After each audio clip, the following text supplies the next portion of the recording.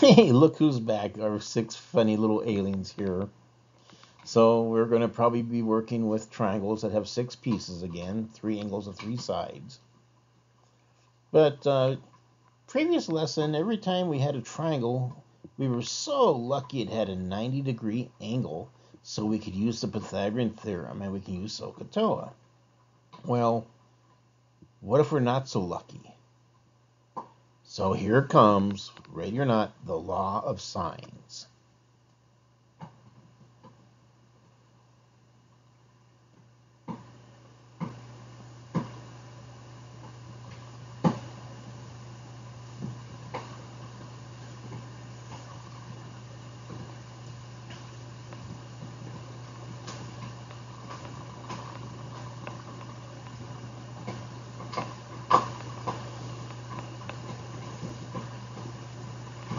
So we're adding one new tool today and one new tool next time.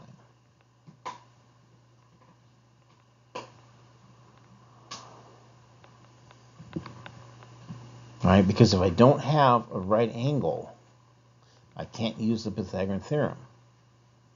I can't use SOHCAHTOA. I have to have other tools I can go to. So today, the law of sines will help us solve a triangle Next lesson, the law of cosines will help us solve a right triangle.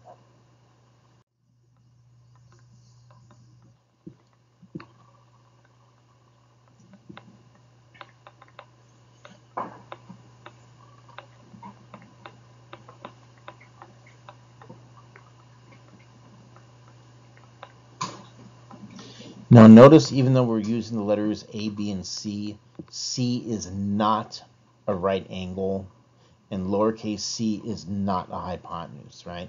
There's no hypotenuse, there are no legs, they're just sides because it's a random triangle. It's not a right triangle.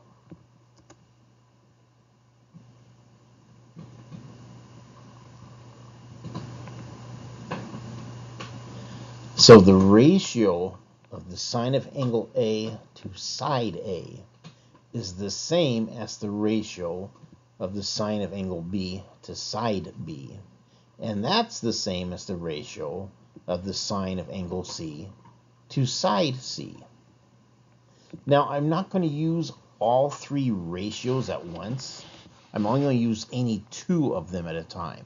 You'll see in the examples how that works. And of course, it says it can be written in either of the following forms. So this is the second way of doing it.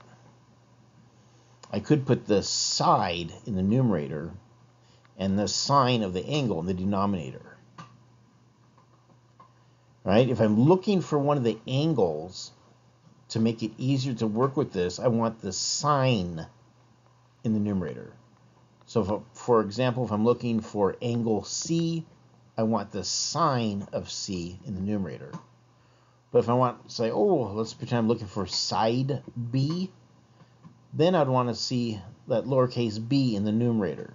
So what I'm looking for, I usually put in the numerator.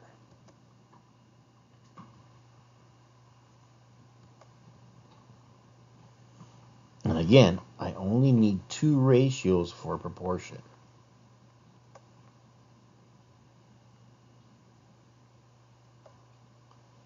Right, so I could just use sine of A over lowercase a equals sine of b over lowercase b. Or I could do something like lowercase a over sine of a equals lowercase c over sine of c. Right? I only need two ratios for a proportion. I'm never going to write down all three at once. And of course, the only way we can solve a proportion is if we know three of the four terms. So I have to know three of the four pieces to make this thing work.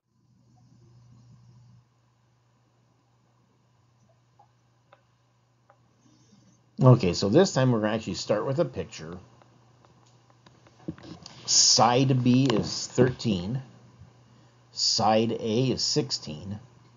Angle A is 40 degrees. Cannot use the Pythagorean theorem to get the missing side because there's no right angle. I cannot use SOHCAHTOA because there's no right angle.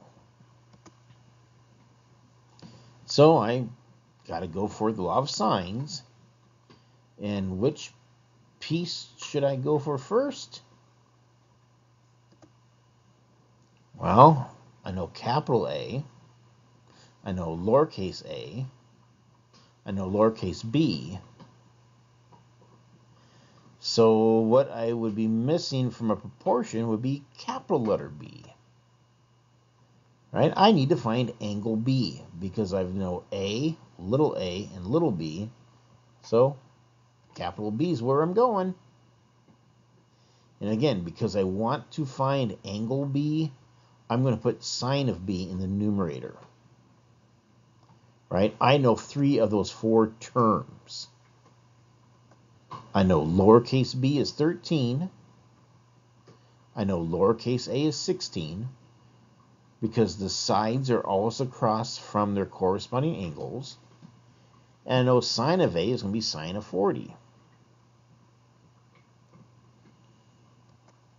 Now, if I multiply both sides of the equation by 13, I'll get sine of b by itself.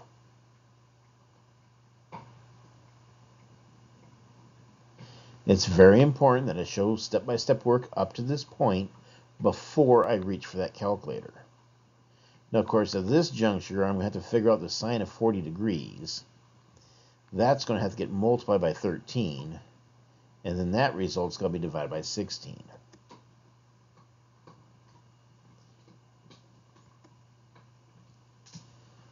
So I figured out the sine of 40 degrees. That was about 0.64. I multiplied that by 13. That came out to be about 8.35. Then I divided that by 16, and I get about 0.52.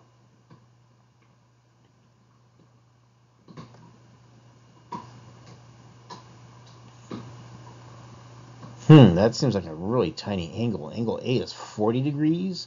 Angle B is 0.5. Oh, wait a minute. We've not found angle B, have we? We found the sine of angle B. If I just want angle B, I need to find the inverse sine of that crazy 0.52.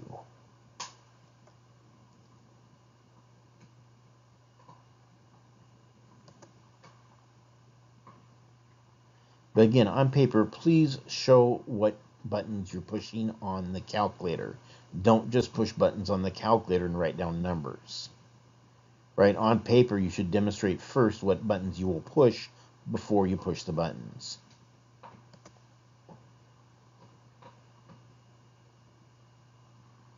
So angle B is approximately 31.5 degrees Of course, I know the three angles have to add up to 180. So if I know two angles, the quickest way of getting that third is just to have them add up. But again, please don't just put 108.5 on your paper or put 108.5 in the picture. Show that you knew you had to add the three angles together and show what numbers you're going to use. Well, there's a one side that's still missing, so what can I do?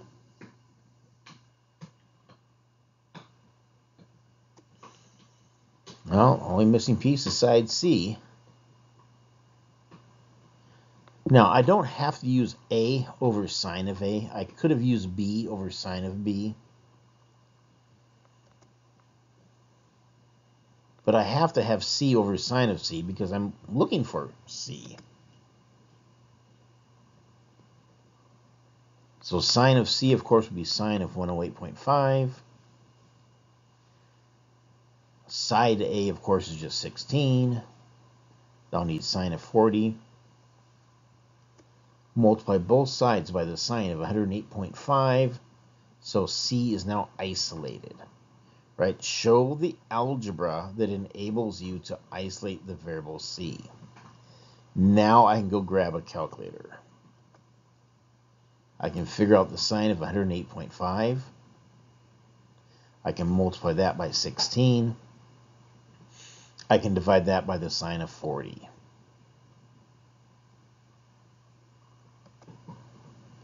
So C is about 23.6 in length.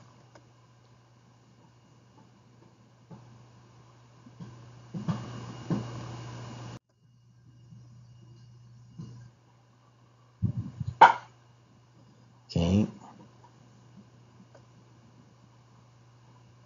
What did we used to do with proofs? We've got side-side angle here. Since side-side angle was a valid method with proofs, side-side angle is a valid way we can solve a triangle. Because remember, I said most of the time, if we give you three pieces, you can find the other three. Well, they also line up with our valid methods of proofs, right? If side-side angle is good enough for a proof, side-side angle is good enough to solve a triangle. Alright? The law of sines is going to work with any triangle that is angle, angle, side, or angle, side, angle. In addition to our side, side angle. That's because if we know two angles, we really know all three and we won't even have to use the inverse sine function.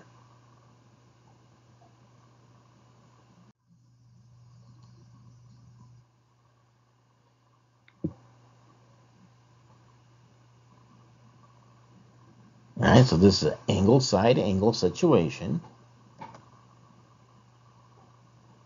Because I know the side between those two angles. And whether it's angle side angle or angle angle side, the first step is going to be really easy. You just got to find that third angle. They got to add up to 180. So whether it's angle side angle or angle angle side, step number one is you find the missing angle. And now from here on out, it's identical. Because you know all three angles and you know one side. And I won't have to use inverse sine because we already know the angles. But I will have to use the law of sines twice. Once to find side B, once to find side C. And in each case, I'm going to use A over sine of A because that's the pair I know. I know 10 is the side that goes with the angle of 29 degrees. So that's the ratio I'm going to use each time. I'll take B compared to sine of 70 equals 10 compared to the sine of 29. I'll also take C compared to the sine of 81 equals 10 compared to the sine of 29. Mm -hmm. More room we need.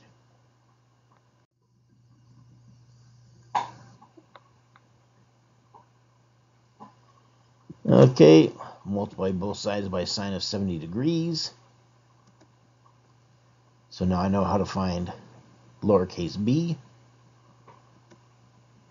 Sine of 70 multiplied by 10 divided by sine of 29 comes out to about 19.4. I can add that to my picture. For side C, well, it looks like I don't want that sine of 81 degrees there. Divide both sides by sine of 80, I'm sorry, multiply both sides by sine of 81 degrees.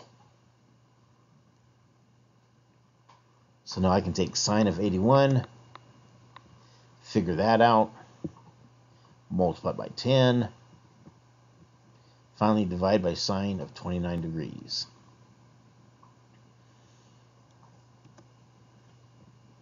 And we get about 20.4. I can add that to my diagram. So again, we started with three pieces. We now know all six. Uh-oh. Hmm, I wonder what I should do first. They just gave me some numbers here. Hmm. Oh, that's right. If I'm just given a list of information, I should first draw a picture. And I'll say, oh, look, it's angle, angle, side. Because I know consecutive angles, and the side we know is not the side between those consecutive angles. But it's just like what we did before. The first step is going to be knowing those angles have to add up to 180.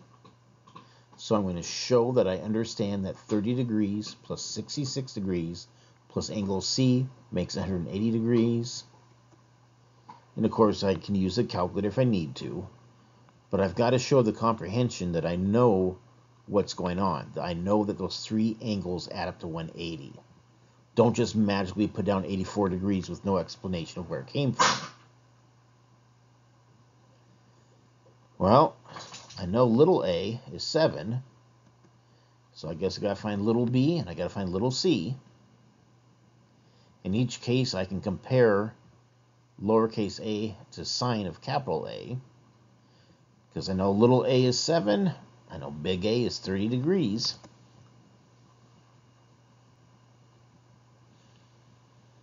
So for B, well, I'll multiply each side by sine of 66. That isolates B.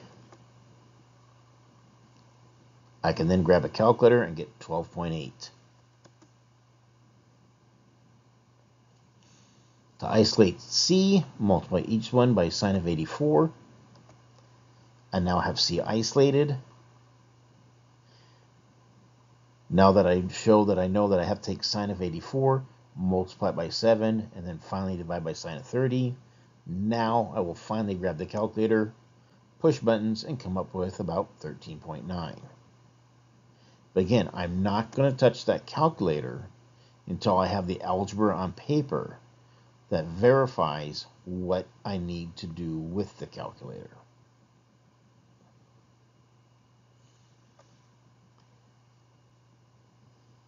Now, if you haven't quite noticed yet, with every single one of these, because we're setting up a proportion, we always have to have a ratio of an angle with its corresponding side. So if it's a right triangle, I've got a bunch of tools I can use. If it's not a right triangle, then if I have an angle and a corresponding side, I can use the law of sine.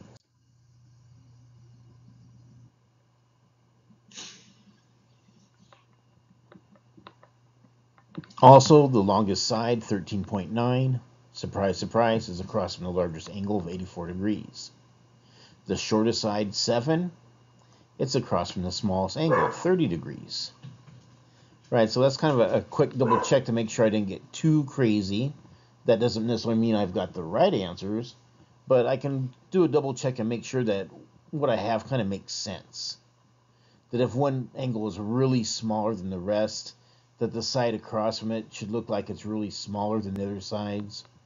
Or if one angle is outrageously large compared to the others, the side across of it should look like it's kind of big compared to the other sides.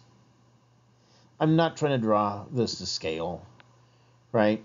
The side where I have the 13.9 doesn't look much longer than the side where I've got the 7, right? I'm not going to get these things drawn to scale. I'm not going to worry about whether or not the angle really looks like a 30 degree angle or if the angle really looks like an 84 degree angle. I just got to make sure it is a triangle and that I've clearly labeled where A, B, and C are so I can get all the corresponding numbers in the correct spots. Again, the worksheet's got very few questions, so please make sure you show some good detailed step-by-step -step work. And then with any additional time available today, IXL has a really nice lesson on the law of sines.